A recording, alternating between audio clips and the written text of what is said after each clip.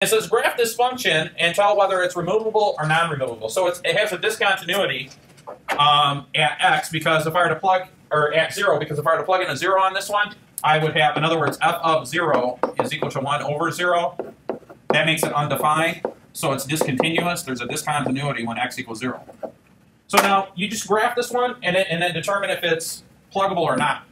So I'm going to clear out my graph, and I'm just going to graph 1 divided by x, and then I'll just do a zoom, uh, the standard zoom. That should be fine.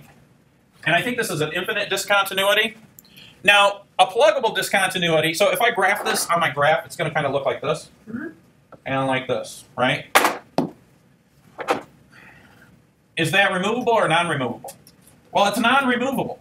The reason it's non-removable, every once in a while you'll get one like this, where you have your curve and a hole like that. So this one right here is definitely non-removable because there's nothing I can do to plug the hole. Okay? But this one way over here, I could simply plug the hole by filling it in. So this one is removable. So if you see a graph on the test that when you put it in your graphing calculator, and there's just like one little hole there, that's removable.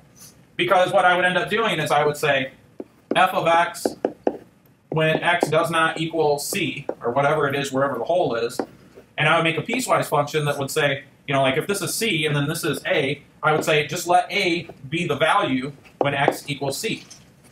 Right? Now, they're not asking you to do that. They're just asking you to determine what is removable and what is non-removable. In this case, this particular graph is non-removable.